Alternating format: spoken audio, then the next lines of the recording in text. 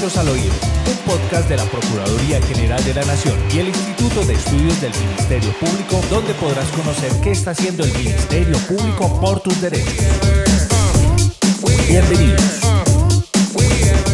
Bienvenidos a un nuevo episodio del podcast Derechos al Oído del Instituto de Estudios del Ministerio Público. En esta oportunidad vamos a hablar de gestión de conflictos interpersonales y para este tema me acompaña el jefe de la División de Investigaciones Sociopolíticas y Asuntos Socioeconómicos, Luis Enrique Martínez Valle. Luis Enrique, bienvenido. Eh, gracias, Yay. Muy buenos días y un eh, saludo especial a las personas que nos siguen por este medio. Bueno, vamos a hablar del tema de los conflictos interpersonales que son muy recurrentes en las empresas. Entonces, para hablar de este tema y además que es una investigación que viene adelantando o un estudio que ha venido usted realizando, cuéntenos por qué son tan recurrentes los conflictos interpersonales y por qué se puede entender o cómo se puede entender este concepto. Bueno, en primer lugar, decir que eh, son recurrentes porque son parte de la condición humana, son parte de nuestra naturaleza, siempre nos han acompañado. Lo que ha variado es la forma como los abordamos cómo los enfrentamos eh, a lo largo de la historia. Eh, y mm, eh, algo que se puede plantear inicialmente es que ha habido cierto descuido en el análisis del, conflicto a lo largo de la historia. pero en el siglo XX, especialmente algunos sociólogos empezaron a conversar, a hablar, a profundizar sobre el tema del conflicto, mirar como, como, esos distintos enfoques. De, esos distintos sociólogos, por ejemplo, George Simmel, un alemán, Lewis Coser, americano, Julien Fren, un francés, y, otros, eh, quiero, que han planteado distintas definiciones de conflicto, quiero proponer una eh, un poco para simplificar el análisis que ellos hacen, pero comprender, comprender y un poco en el, en el propósito de este episodio, de este podcast, de mirar cómo, cómo nos apropiamos de esos conceptos y los aplicamos en nuestra vida práctica. Entonces quiero proponerles este concepto, que el conflicto es una diferencia de opinión creencia o actitud que se presenta entre dos o más personas frente a una situación específica, que genera malestar en al menos una de ellas porque siente o observa que se afecta el logro de sus expectativas. Pero esa diferencia, de ese malestar, de esa confrontación que se presenta, se pueden derivar dos aspectos. Uno, una oportunidad para fortalecer la relación o una situación que puede afectarla negativamente. Eh, eso lo podríamos decir en, términos generales pues, de lo que se entiende por conflicto y por qué es su recurrencia. ¿Esta definición aplicaría para distintos tipos de conflictos o es solo para los conflictos interpersonales?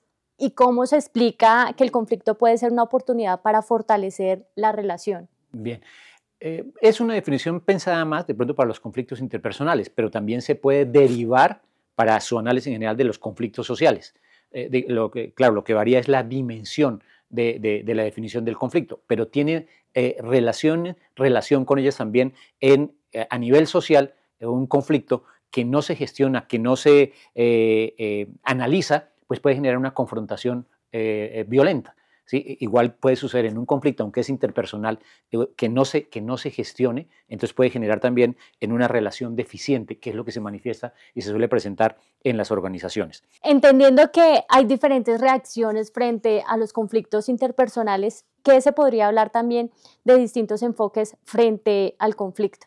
Sí, eh, las distintas reacciones tienen que ver por distintos aspectos, que tienen que ver con procesos de formación, con aspectos culturales, con aspectos familiares, inclusive con aspectos religiosos. Entonces son distintos elementos que influyen.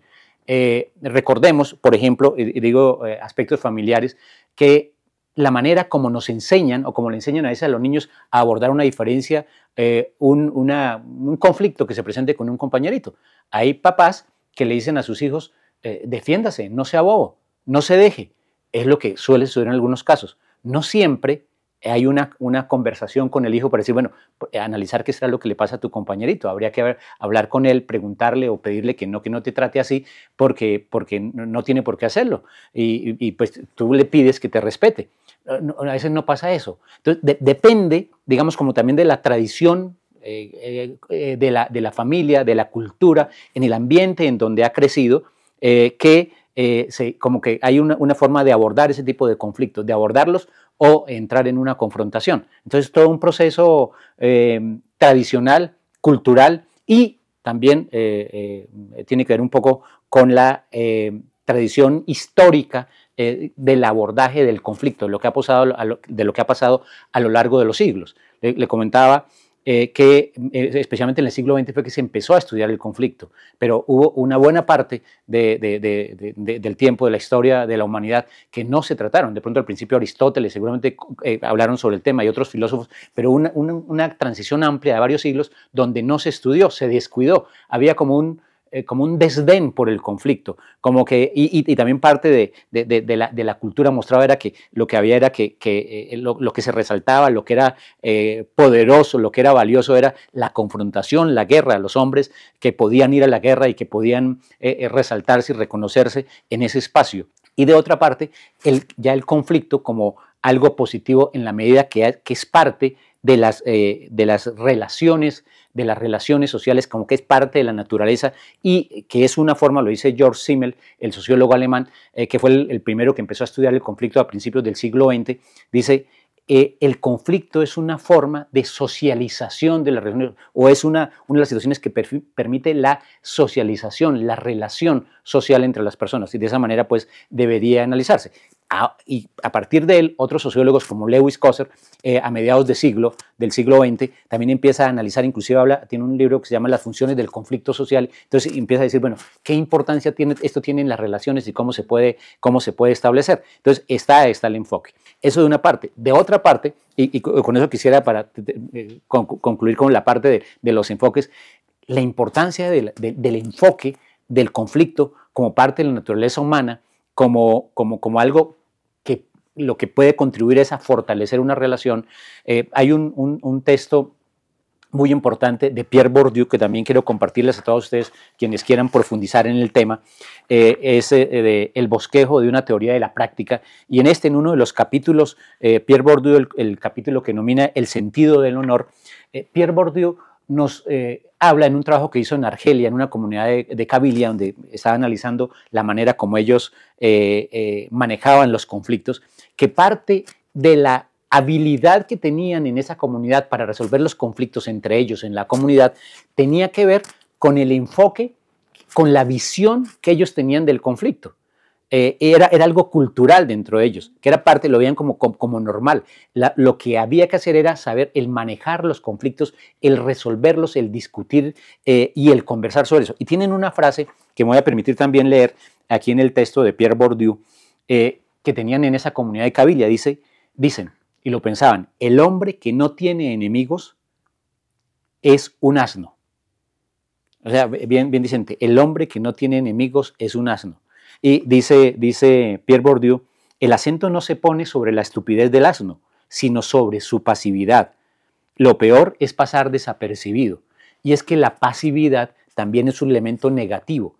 Si, si alguien me, me incomoda, me ofende, y yo me quedo callado para no armar el conflicto, también es negativo porque eso genera cierto malestar en mí y un distanciamiento de la otra persona. No, o sea, la pasividad no es positiva y es lo que plantea lo que quiere decir aquí. Como es parte del tener enemigos, el tener enemistades, el tener diferencias, pues lo importante es saber cómo las resolvemos, cómo las conciliamos. Y esa comunidad de cabildes eran fuertes en la resolución de los conflictos en la comunidad, pero a partir de la concepción que ellos tenían, lo veían como algo natural. ¿sí? Entonces, entendamos de esto, y pues para cerrar esa parte, entender que eh, sí, el conflicto eh, es, es, es, normal que se presente, eh, lo importante es que logremos comprender las causas que generan ese conflicto, que generan la diferencia, que intente resolverlas, acercarme, conversar con la otra parte, con la otra persona, entendiendo eso que, lo, que, que si lo hago de esa manera positivamente, lo que va a hacer es enriquecer la relación que tenemos.